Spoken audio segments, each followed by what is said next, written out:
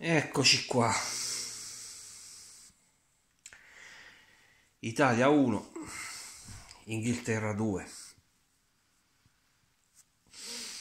Tutto molto brutto, tutto molto brutto a partire da me, da come ho guardato questa partita. Con quasi con uh,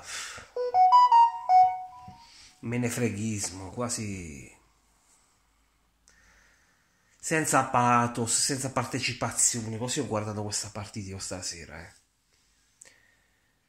E, lo so, io la nazionale la tifo, mi dispiace che non abbia raggiunto il pareggio che diciamo che potrebbe anche aver meritato alla luce del secondo tempo. Però ragazzi, io fino all'ultima partita della nazionale, che è stata con l'Austria, se non sbaglio, l'amichevole, io tenevo affinché, cioè, appena si pigliava un gol, io, lo scazzo c'era.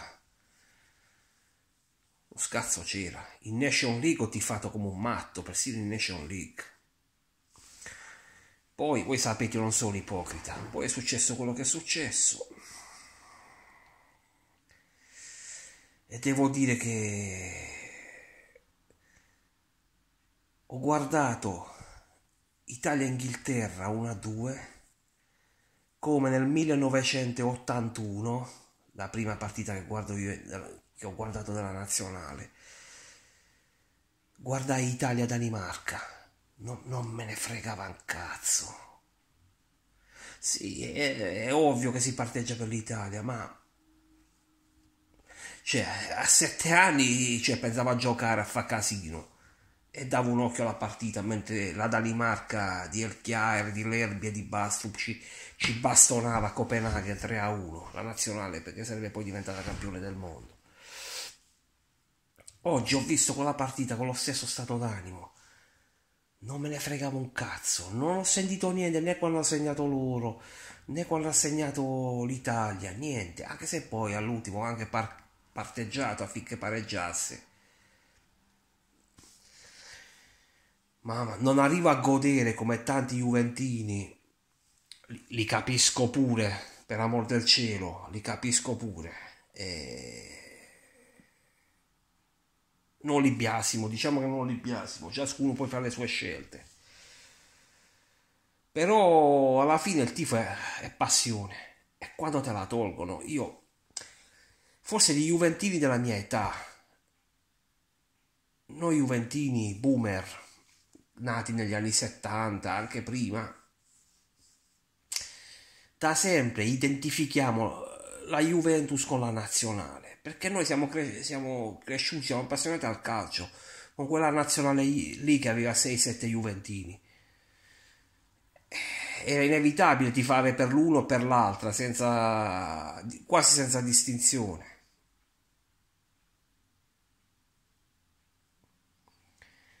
Oggi invece... Ma, neanche, ma no, perché non c'erano Juventini nel modo più assoluto. Io l'Italia di, di vicini che di Juventini ne aveva pochissimi, l'ho tifata alla grandissima l'Italia di vicini.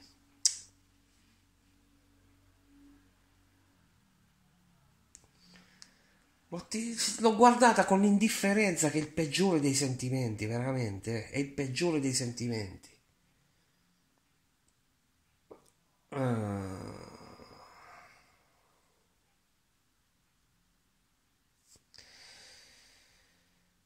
E poi parliamo della partita. Beh, ragazzi, eh, volendo analizzare la partita, loro ci sono stati superiori in tutto e per tutto. Non, eh, non inganni il secondo tempo, disputato più per rabbia che per altro. Loro sono, è vero che sono anche calati, eh. Uh, però loro in pratica con questa vittoria sono garantiti la qualificazione. Noi invece ci sarà da soffrire con Ucraina, con Macedonia, ci sarà da soffrire. Già a Malta, cioè non vi aspettate la goleata a Malta perché eh, non le abbiamo mai fatte. Figu- tempi di pace, figuriamoci in tempi di guerra. Poi, oh, tutto è possibile. Ah, io non me la piglio neanche col mister Mancini, perché che cazzo deve fare? Poverino, che cazzo deve fare? Signori, siamo questi. Nel primo tempo, finché... Sì, avevamo anche iniziato bene, ma poi loro hanno cominciato a giocare cioè ragazzi se finiva 3-4-0 il primo tempo non c'era nulla da dire ma niente niente niente cioè, Grealish, il giocatore, il giocatore più sopravvalutato della storia del calcio, si è mangiato un gol sul 2-0, ragazzi, che Dio ce ne scampi. Poi nel secondo tempo un po' la, forse la strigliata del Mancio negli spogliatoi. Il Mancio è uno che non ci sta a perdere, lo conosciamo. Uh, un po' una reazione d'orgoglio. Abbiamo trovato sto gol più che altro per una errata disposizione della loro difesa. Ha fatto gol sto ragazzo Reteghi che non parla manco italiano. Cioè, vi lascio immaginare il mio stato d'animo. Non per lui, per amor del cielo se ne sarà già pentito di aver scelto la nazionale italiana. Se ne sarà già pentito, secondo me. E... Abbiamo trovato il gol. Poi abbiamo trovato anche la superiorità numerica lì ci siamo spenti. Lì ci siamo spenti completamente. Sapete perché? Perché non sappiamo attaccare.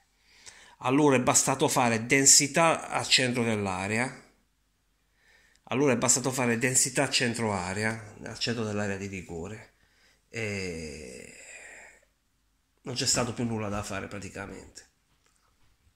Perché? Chi va a saltare in mezzo a Maguire, in mezzo a Stones? Chi va a saltare in mezzo a quelli? a saltare, a sgomitare. Non abbiamo più centravanti da una vita, ragazzi per trovare un centravanti degno di questo nome bisogna scendere, non dico in Serie B, però c'è Petagna del Monza, c'è Scamacca, che per me andava fatto giocare il nostro cacchio di Reteghi. Boh. Quando si è trattato, no, perché noi sullo 0-2 abbiamo anche avuto una bella reazione però non vorrei fosse figlia della, di una loro dormita, del fatto che loro avessero dato oramai già per scontato il risultato. E... Difatti dopo il 2 a 1 non abbiamo praticamente più tirato in porta. Non abbiamo più tirato in porta perché non sappiamo tirare in porta. Noi non siamo andati ai mondiali perché non sappiamo più tirare in porta. Lo dico sempre sto fatto non sappiamo più tirare in porta. Quindi allora, avete visto come si giocava? Per carità li abbiamo anche messi sotto, li abbiamo anche messi nella loro area di rigore, però cosa, come si giocava? Da destra a sinistra, da sinistra a destra, da destra a sinistra, da sinistra a destra. 20.000 passaggi al limite dell'area e loro stavano lì belli, comodi a guardare qualche calcio d'angolo, ma nient'altro. Perché non sappiamo attaccare. Non sappiamo attaccare. Non abbiamo centravanti che sgomitano in aria. L'ultimo forse è stato Luca Toni. Forse è stato Luca Toni. Vi parlo già da Luca Toni al massimo della forma, non i Luca Toni del Verona. Vi parlo già di 15 anni fa, cioè è inevitabile che tira, se tiri da fuori, oramai nelle giovanili ti sostituiscono. Perché noi si ragiona così. Noi si imita male i grandi allenatori esteri o gli allenatori più alla moda.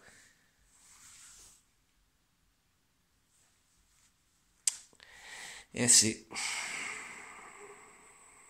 Eh, raga, eh, va così. Purtroppo va così. Purtroppo va così, ragazzi. Siamo di una tale pochezza, raga, che io ve lo dico subito. Noi rischiamo di non andare manco all'europeo. Davvero lo dico.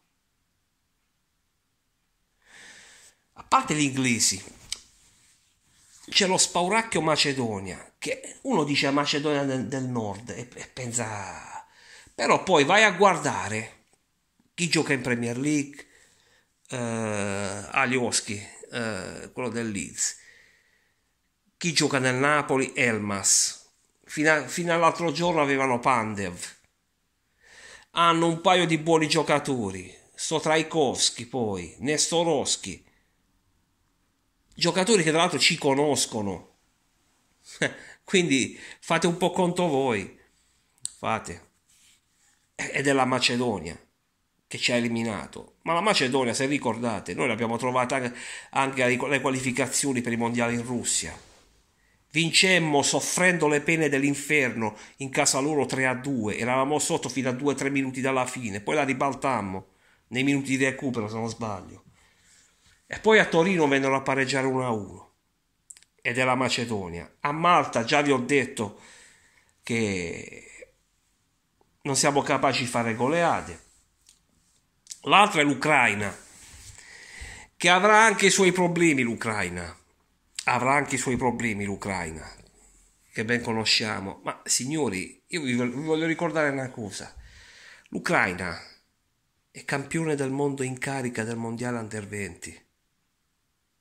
E adesso quelli che hanno vinto quel mondiale sono tutti in nazionale A. Mudrik, Zinchenko, il portiere Lunin che ha giocato anche nel Real Madrid.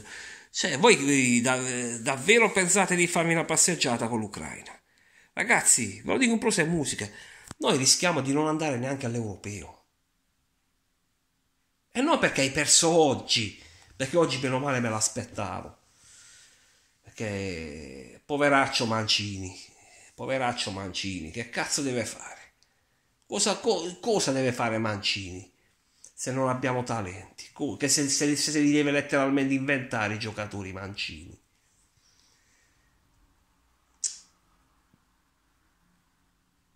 Peccato perché deve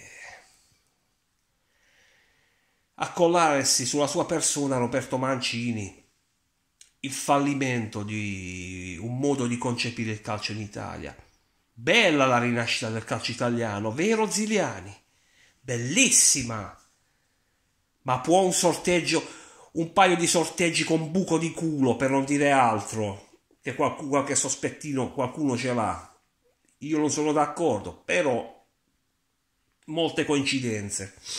Mm. Ma può essere una botta di culo in un paio di sorteggi a far rinascere il calcio italiano? Il calcio italiano Oggi del Napoli che sta strapazzando il campionato e sta deliziando anche l'Europa, due giocatori. Perché uno è infortunato che è Raspadori, gli altri sono tutti stranieri. Juventini vabbè non c'è niente, interisti, Barella che si è fatto male, Bastoni è infortunato, Darmiano non ha giocato, Acerbi, ma Acerbi ha un'età. Non è Franco Baresi che ti fa quel, quel popo di finale mondiale a 34 anni, non è Franco Baresi. Acerbi. Milanisti, Tonali, che ha fatto anche bene. Sì, sì, ci sono i due romanisti, Pellegrini e Spinazzola che hanno fatto una buona partita, tutto sommato. Ma ragazzi, eh, sì, eh, siamo veramente alle pezze, veramente alle pezze. Signori, io ve lo dico subito. In genere una grande nazionale nasce 15 anni dopo aver vissuto l'esempio di un'altra grande nazionale, per esempio i campioni del mondo del 2006. Mm? Ricordate i campioni del mondo del 2006? Del Piero, Totti, Nesta, Cannavaro, Materazzi, Zambrotta, Gattuso. Sono cresciuti a guardare i vari Vialli, Paolo Rossi, Scirea, Tardelli, Cabrini, Baggio e compagnia cantante.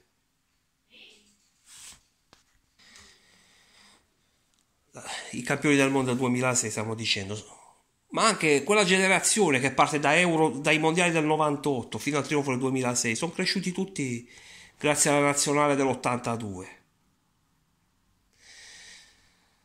Per esempio, per esempio, gli stessi campioni d'Europa di due anni fa, quelli sono cresciuti di Insigne, Immobile eh, e tanti altri. Insigne, Immobile, Barella, no, Barella un po' più giovane, eh, e tutti gli altri, quelli sono cresciuti guardando i campioni del mondo del 2006. Ora, se tanto mi dà tanto, noi dovremmo avere una nazionale appena decente, appena decente, diciamo, eh, forse per il mondiale per il prossimo mondiale dovremmo riuscire a qualificarci. Dovremmo riuscire a qualificarci il prossimo mondiale. Forse.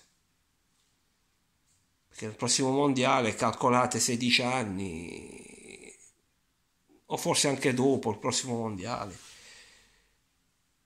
saranno cresciuti i ragazzi che hanno trepidato per quelli di Euro 2012 perché è così che si cresce, grandi generazioni di campioni cresciute guardando altri campioni. Così, è così.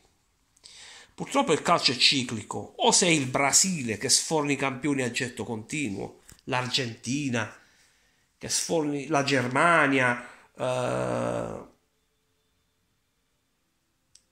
che sforni campioni a getto continuo, oppure raga, stata buona.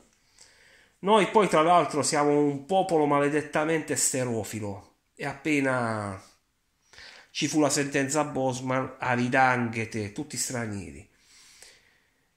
Io veramente la nazionale che ho visto oggi, credetemi, l'Udinese di Zaccheroni era più forte quella con Biro, Famoroso, eh, Ametrano, Rossitto, il portiere Turci, eh, il giovane Jorgensen. Eh, veramente, l'Udinese di Zaccheroni era più forte di questa nazionale.